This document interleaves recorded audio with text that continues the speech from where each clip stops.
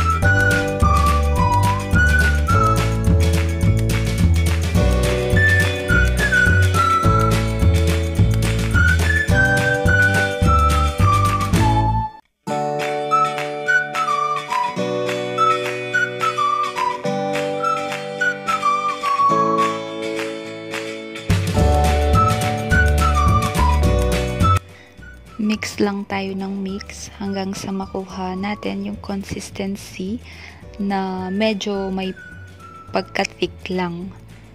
So, bali nakuha kong consistency dito is super thick yung pagka-chocolate niya.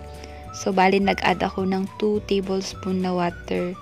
Hindi ko na videohan yung part na yun kasi nalubat yung camera ko.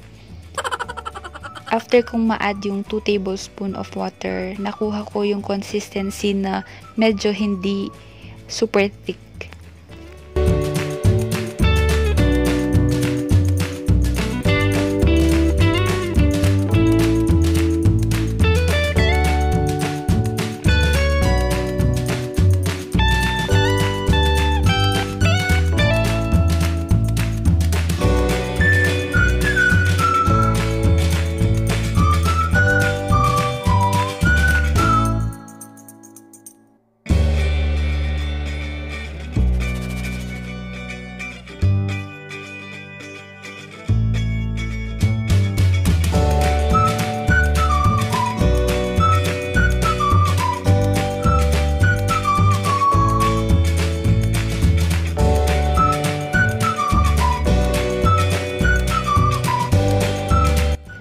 Kung meron kayong oven sa bahay, much better. Pero kung wala kayong oven, kawali lang bes, okay na. Maluluto yan.